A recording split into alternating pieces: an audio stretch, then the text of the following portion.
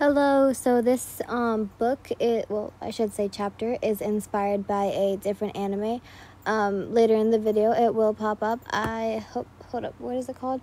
Um, I think it's called Hoshi no Ku or Kune. I think that's how you pronounce it. Sorry if I did not pronounce it right.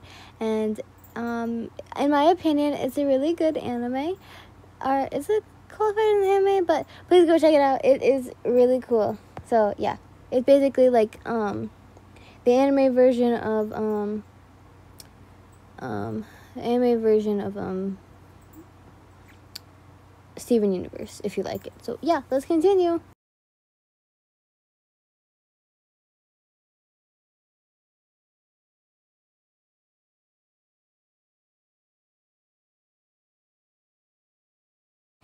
You think that you think this is the place? asked a rogue. Yep, that's what our sources tell us, said another. You got the cages and rope already? The leader asked. Yeah, of course. But why did you bring this dead weight? A low lackey asked, kicking a trap covered cage. Because this dead weight is our bait.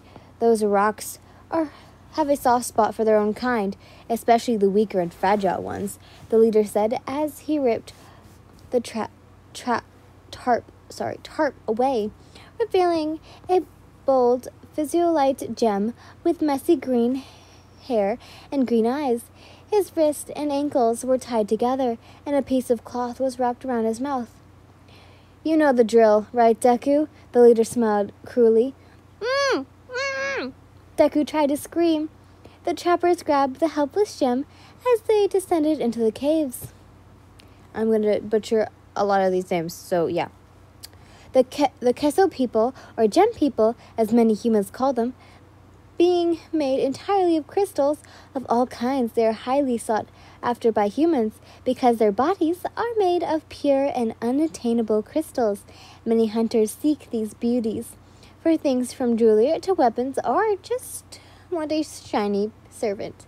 Many reasons. So the gems hide in many places of the world, from small islands to deep underground tunnels and caves, anywhere out of humans' reach. Please, I don't want to be a part of this anymore. Please, let me go. I tried to cry out, but I couldn't with the gag in the way. The memories of previous raids start, started resurfacing.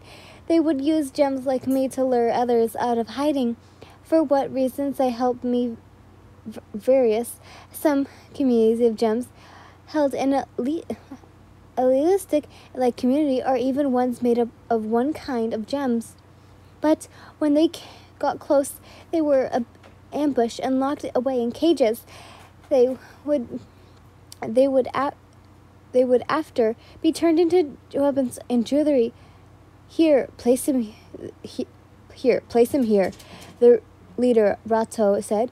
The they placed me down a near a ledge and ripped away from uh, ripped away from my gag. Looking over, I could see two gems walking down below. I tried to stay quiet as and still as I could, so they didn't notice me. Deku's too quiet. Roto growled. He stomped on my hand, shattering it. it. I could hold back the pain as I cried out. It echoed throughout the cave. Looking down at the gems below, they quickly spotted me and ran away. Good, at least they won't get caught. Suddenly, there was a rattle and a smash, said a large gem. A gem destroyed a powerful punch, knocking three of the rogues away. Deku stared in awe as this scene, and the powerful gem was a brave, with a brave smile on his face. But the wind was so strong that Deku was only blown off the edge. Time seemed to slow as he watched the edge grow further and further away. Deku shut his eyes, waiting for his painful end, but a favorite color blur caught his eye. Are you all right? asked a kind voice.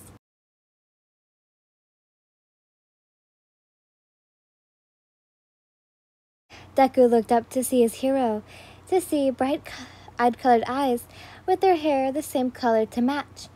His eyes sparkled at his hero's glimmering at the hero's hair glimmering beautifully in the moonlight.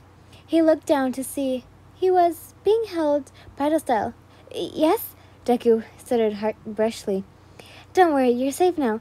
As long as you're under All Might's protection, you have nothing to fear.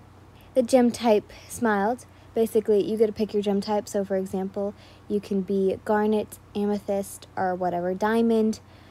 I think you can pick. I don't care. But Deku couldn't help but just stare at this new gem. He was in, as influctuation grew, his cap- captures were long to fit. with as a new group of gems escorted him back to their hidden homes. Um, who are you? Deku asked the mysterious gem type. Well, my friends like to call me Yin.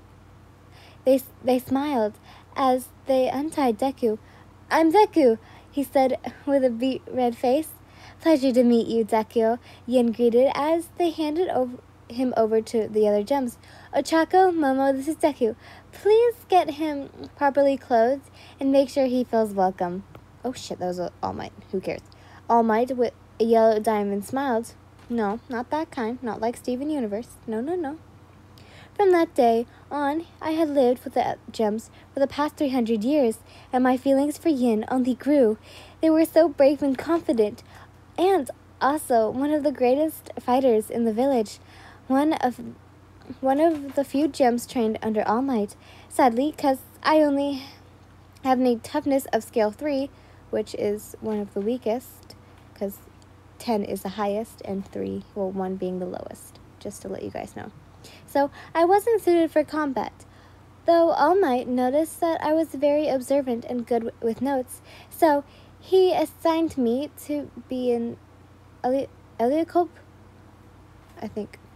My job is to take notes of the enemies and encounter, inquire the re- record events. And there was some books and about stuff I made up. Humans would call them fantasies or stories, though I didn't mind this being my job because Yin would come by and read my works. I couldn't help but feel lighter than air and embarrassed at the same time as they were reading my work. Yin could always come in after her patrol, come in and read, or more often just sit down and talk to me, though most of the time it was just him listening or to whatever good memories of the human world or my mystery of my original home. I tried to keep my feelings to myself the best I could by just doodling in private books just for my eyes only but I guess I wasn't the best secret keeper. Wow, dude, you really have a thing for yin, said a voice. I gasped as I jumped to see Denki, who quickly snatched my drawing book and sped through the embarrassing photos. Wow, you've got it bad. All these drawings are of yin are you being lovey dovey, he said out loud, att- att- attracting the attention of Ida and the topaz, and Ochako the pink diamond. No, not that one. Not that one, Steven Universe fans. They quickly came over and looked through my book. Wow, looks like Toya has a love rival. Ochako gasped. Toya had, I don't know how to say this, patriotic gem, was also one of the top fighters for the village and is always Yin's patrol partner, who was also pinning after them too. There was times he would just randomly jump into our conversations and steal their attention, but I couldn't hear what they were saying. I covered my ears in embarrassment. Oh no, Yin, for, forget a, forgot their other sword. Momo gasped. I'll take it to them. I offered as I quickly grabbed the weapon and ran off to the li- off the library. Does he know where Yin and Toya are? Momo asked. it even notes that Yin's patrol patrols today, Denki said, flipping through the pages, not paying attention. Yin and Toya stood guard at one of the cave's entrance as a warm sunlight funneled through. Yin smiled as she felt the warm light on her powdered cover skin. Hey Yin, do you ever wonder what could be on the surface? Toya asked. Ever since Deku came and told me stories of the surface, it only fueled my imagination. Yin turned to her trusted partner. One day we'll be ones on top, and we'll take I'll take you over to the surface, just you and me, Toya said with confidence. That's an awful big promise, to- Toya, Yin said as they sat next to him. I mean, we can always just wait till the humans go to extinction, Toya suggested. Mm-hmm. All right, I'll hold you to that promise. Yin laughed as they gently held Toya's hands. Deku watched from the side of the tunnel wall. As he sighed sadly and turned back to, into the tunnel, he wa- wandered the cave tunnels as he hugged Yin's sword closer to him. As he turned the corner, he bumped into something, something large.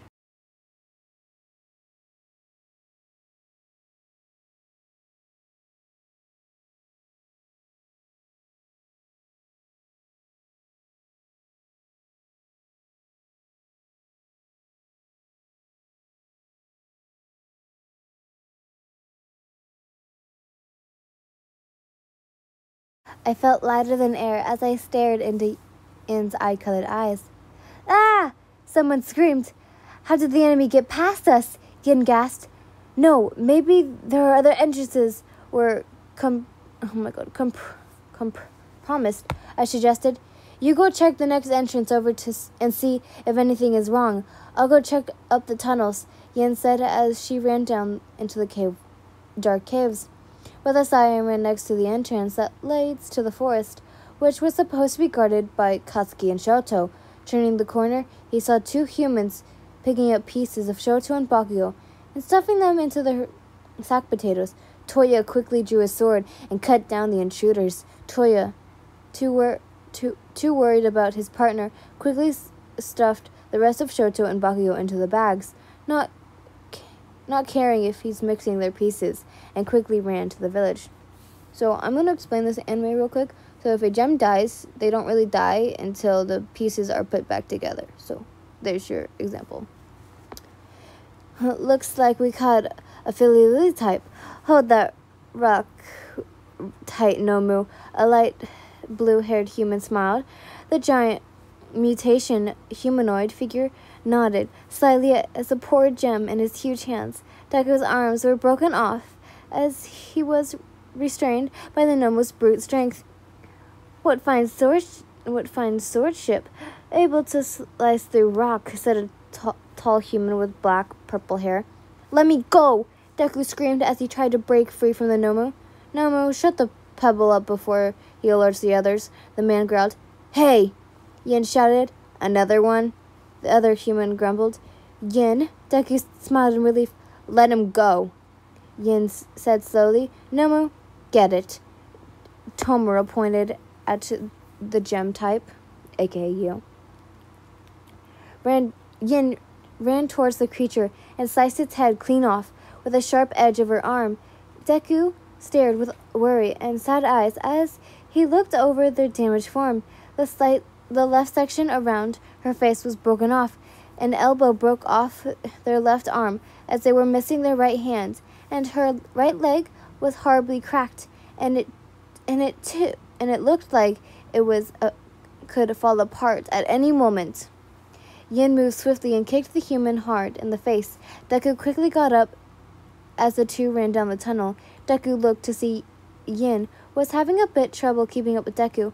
Yin, are you okay? Deku asked. Don't worry. Turn right and follow, Yin said as she pushed forward. As the two quickly turned the corner, the humans regained their composure and made chase after the two. Yin pushed the medium sized boulder away from the tiny hole in the side of the cave wall. Deku hesitantly got in when Yin started to close the opening. Yin, what are you doing? Deku asked as the opening became too small for him to even squeeze out. Hiding you. I'll come back for you. I have to lead them away from the village, Yin explained as they backed away. No, please don't do this. Don't leave me, Yin. I, I want to tell you something first, Deku said quickly. Yin smiled sadly as she turned to face Deku from the other side of the boulder. Deku could could tell they were ready to throw their life away for everyone, for him. Yin, I love. Suddenly, Yin's head was sliced clean off by a th- thrown sword. Deku gasped in horror as he watched Yin's body fall to the ground. He tried to reach out, but he had his he had no arm to hol- pulled out. Deku wanted to scream and cry, but no sound came out of him. Yin slowly turned their head towards Deku and mouthed, Please live for me, Deku. They mouthed as the human quickly gathered her broken body.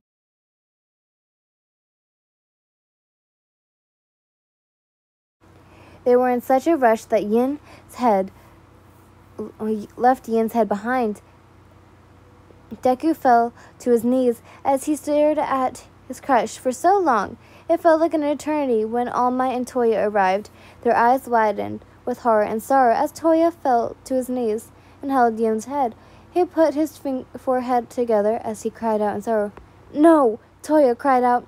All Might soon noticed Deku and was trapped behind the boulder and quickly moved aside with no effort.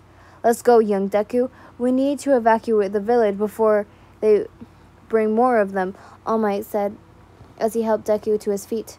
Four hundred years later. It has been a long time since Yin's death. All Might changed in a way after his student's death.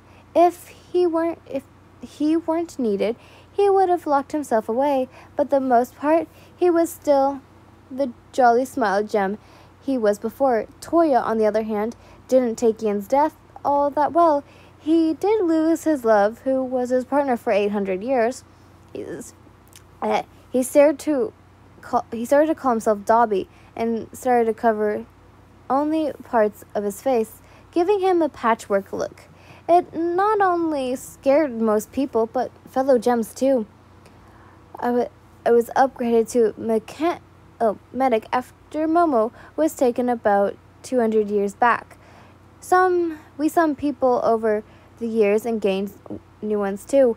I helped piece gems back together, but my main goal is to bring Yin back. The village moved up high into the mountains, so high it could be difficult for them to breathe, but humans could risk their lives just to come up here anyways. Some some came with weapons and tools made of gems, and many times they were gems gemstone type. So I slowly put Yin back together, piece by piece. I finished them for the most part, but there were still three large gaping holes in her torso. I tried to use other gem pieces that matched her uh, just a crystal type scale. Yet it only worked sometimes. She would wake up for about three minutes, yet when when they do, everyone who was watching my work quickly rushed in to tell them how much they miss them and update them on everything. Even Toy, no, I mean Dabi, would come by. Yin was weirded out at first, but they got used to it quickly, and I would never really get a chance to talk to them, but I never forgot the last time they woke up. As they said their goodbyes to everyone, they turned to me and said, I miss you, Deku. I can't wait to wake up and see you again. Yin smiled as they fell back into unconsciousness. I'll bring you back, in so I can tell you how I feel. Whoa, we got a long one. But I hope you guys enjoyed. And if this um, anime sounds nice or if you like it, please go check it out. It's really good. I don't know where you can find it, but I've watched it before. And hope you guys enjoyed it. Bye, lovelies.